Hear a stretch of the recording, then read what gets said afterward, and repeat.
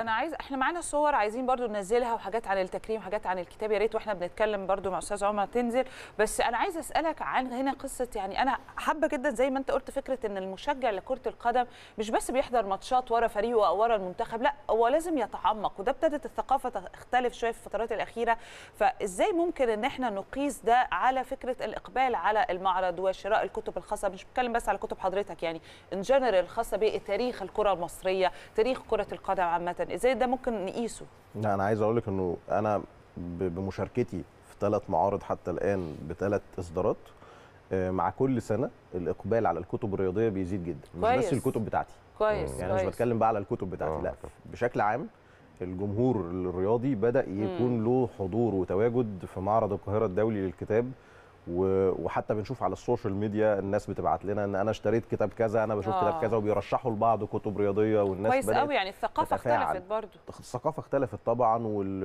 ويعني أنا أعتقد بالمناسبة يعني آه ده كان تكريم, تكريم، آه. من نادي الاتحاد السكندري والحقيقة نادي الاتحاد السكندري من الأندية العزيزة علينا كلنا ومن الأندية التاريخية ده محمود بيه القاضي عضو مجلس إدارة الاتحاد السكندري كان موجود ممثلا عن ال... عن النادي ده جزء من الحضور يعني بشكرهم كلهم طبعا يعني قيادات الرياضة المصرية. و... والناس كلهم أنا بعتز بيهم يعني معالي العميد محمد مرجان مهندس أحمد مجاهد آه، أحمد حسام عوض محمود القاضي كابتن مجدي طلبة وكابتن أحمد مجدي الدكتور ياسر أيوب اللي قدمني في في الندوة والحقيقة أضاف كتير لل- للحدث محمد غرابة من نادي إنبي دكتورة دينا الرفاعي مجلس عضو مجلس إدارة اتحاد الكره الحالي يعني كابتن تامر بجاتو آه، مساندة حلوة جدا جدا. وبتأكد كمان إن الناس مهتمة بفكرة إنه يكون في مشاركة رياضية في الجانب الثقافي يعني طبعاً. ما تبقاش. الحكاية مقتصرة على المنافسات لأن ابتدت. تنحسر بشكل ملحوظ في الفترة الأخيرة نتيجة إن ناس كتير بقت بتاخد معلوماتها من ال social media ال social media واللي مش بالضرورة تكون معلومات موثقة ولا حتى سليمة في بعض ولا. حتى حد تعب في البحث عنها يعني طبعاً. أيوة. أحيانا بتبقى حاجات مغلوطة كتير آه.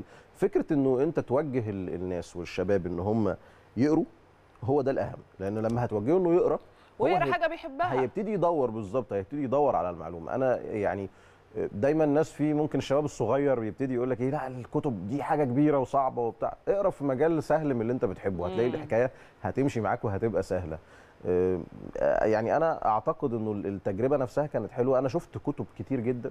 السنة دي في المعرض رياضية. مم. يعني آه، وبالمناسبة في في كتب منهم الطبعة الأولى والثانيه خلصت منها. يعني آه، كتاب حلو، صفحات حلو من. تاريخ الأهلي مثلا آه، طبعتين خلصوا في المعرض. فده ده نجاح للكتب الرياضية. طبعا. مش بس الكتب مثلا اللي, اللي أنا بعملها. أنا مبسوط إنه أنا كتبي الحمد لله بتحقق نجاح.